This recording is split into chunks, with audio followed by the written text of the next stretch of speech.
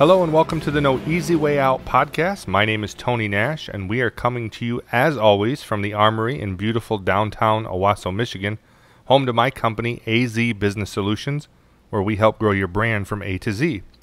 Now, in today's episode, we're going to do something a little bit different, as I've been getting questions from a lot of entrepreneurs and managers about this idea of developing employees.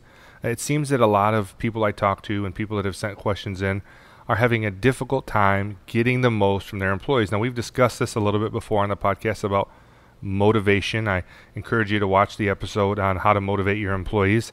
Um, but uh, this today, we're not going to really talk about motivating your employees. We're going to talk about the stages of development that every employee goes through whether you have good employees, whether you have bad employees, whether you have employees that are kind of at that mediocre level and you know you could get more out of them, but maybe you're not.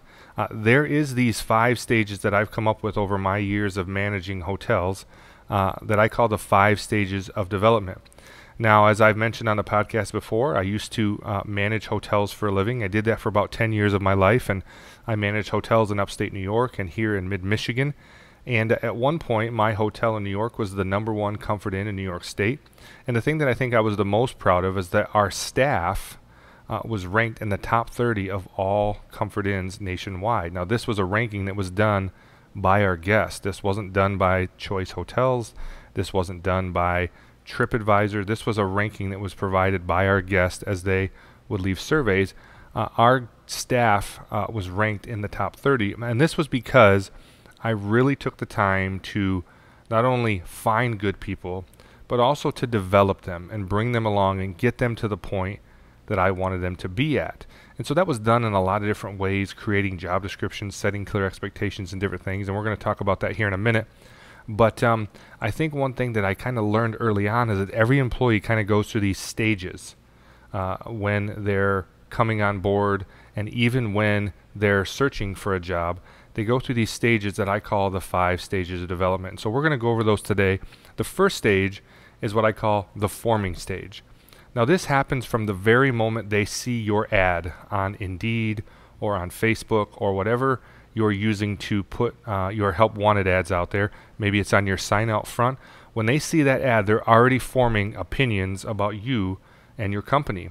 Uh, and then from there, if they're interested, they might go onto your website, they might go onto your social media pages, they might do some research online, and hopefully the information they find about you online is good so that you look like an attractive place to work. But regardless of that fact, they are forming their opinions about you. And then whenever you call them to ask them to come in for an interview, forming more opinions. And then when they show up and they meet you or they meet your manager, they see your place, now they're really forming their opinions and they're trying to figure out what kind of place is this going to be? What kind of environment is this going to be? Will I like working here? Do the other employees seem to like working here? Um, and so they're forming their opinions. And then if you hire them, man, on day one, that's so important because then they're really starting to form some opinions. Uh, when I was a general manager, it was always my um, intention and, and philosophy really to spend the first day, or at least several hours on the first day with every employee. I didn't hand them off to a trainer, even though I had some really good trainers. I didn't hand them off to an assistant manager, even though I had some really good assistant managers. I determined to spend time with them on that first day because I wanted to introduce them to the kind of culture that I was trying to create. I wanted to uh, help them form those opinions, and I wanted those opinions to be good opinions. And I knew that no one could quite articulate it the way that I could. And so it was important for me that that brand new person kind of knew what to expect from me and my company. And so uh, a lot of times when you put them with uh, a manager or a trainer, even though those are good, you're they're going to hear things that maybe you don't want them to hear on their first day or first couple of days. They're going to hear kind of maybe some complaints or they're going to hear kind of some uh, different philosophies that maybe they've picked over uh, up, up over time that a new employee doesn't need to hear until they really get inundated into the culture. And so make sure you help those new employees form the right opinions because uh, inevitably after a couple of days, some people it takes a couple of weeks, they move into stage two, which is I call the storming phase. Now, this is when they are testing their limits. This is when they're going to see what they can get away with. This is when they're going to show up a few minutes late and see if anybody says anything. This is when they're going to come to work without a uniform on or without a name tag on and see if that's even something that anybody cares about. This is when they're going to uh, maybe come back from their lunch break a little le- late, later than they should, or uh, you know the things that employees do. Uh, maybe they're going to get on their cell phone and text or check their Facebook and see if anybody notices it. Every employee, even your good ones, want to kind of know what can I get away with at work. What kind of environment is this going to be? Is it really strict? Is it really laid back? And you have to determine the type of environment. You have to determine if name tags are important or if uniforms are important or punctuality or cell phone use. That's for you to decide. But whatever your philosophy is, whatever your way of doing business is, you need to make sure you let those new employees know that right in the beginning as they're forming those opinions and they're testing their limits. And so once an employee has started to form the opinions, then they start to test the limits, they're storming, they're kind of trying to see what they can get away with then they get to phase three. And this phase is so important because this is what I call the norming phase. This is when the employee has determined what is normal about you and your company. Now, we want them to know what's normal. We want them to, to settle into the norm. But here's the problem if their normal doesn't match your normal, then you have a problem. If they've determined what's normal at your company uh, is what it is, but it's not what you want it to be, then what you're going to have is employees, good or bad, doing all of these things that you don't necessarily want them to do, and they don't even realize they're doing anything wrong.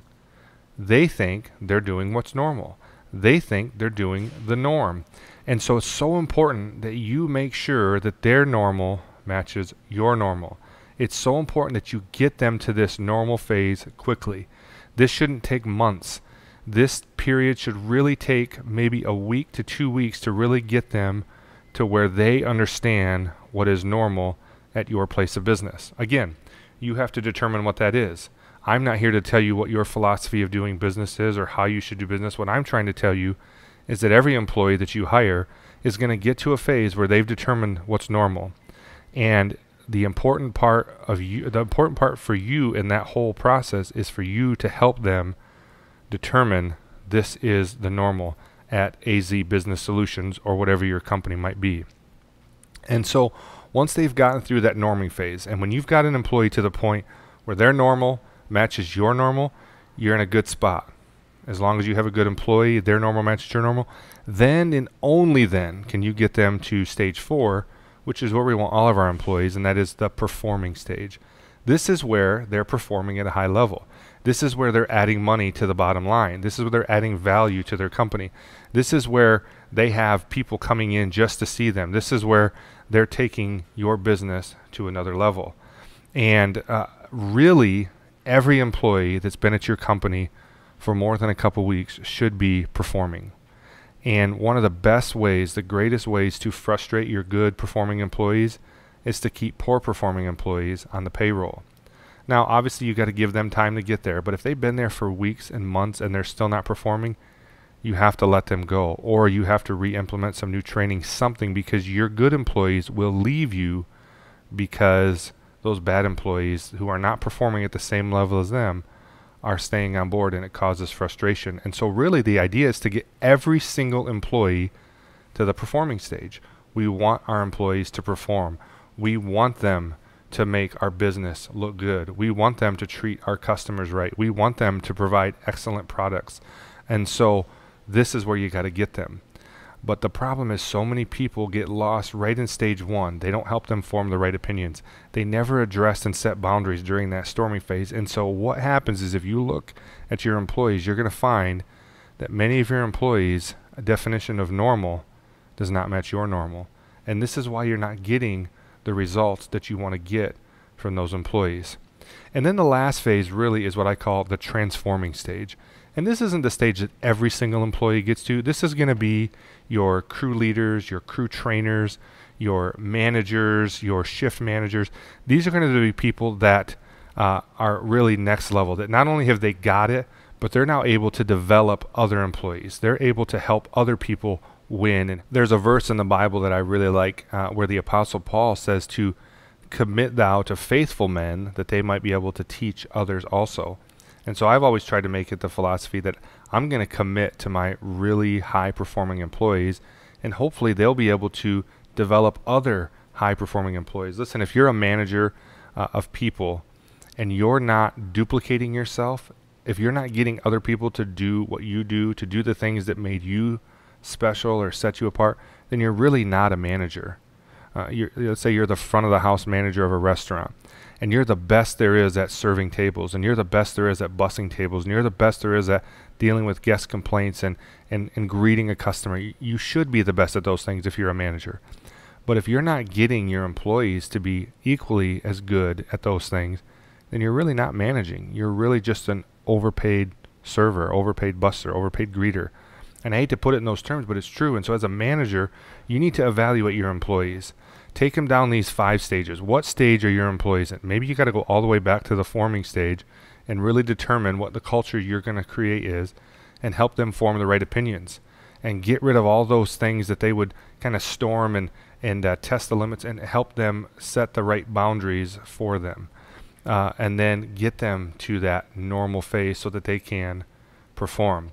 And so I hope this helped you out today. Just a quick little podcast to kind of help you understand if you're in this position and you have employees and you're just not getting what you want, run them through this this lens of forming, storming, uh, norming, um, transforming, and performing. Run them through these five stages and see where they're at and help get them to the place you want them to be. Thank you for joining us on today's podcast. As my mother always said, you can't and never could until you tried. So go out there and try something great, my friend, and don't take the easy way out. We'll see you next time. Hey guys, if you like what you saw today, please like and subscribe for more content.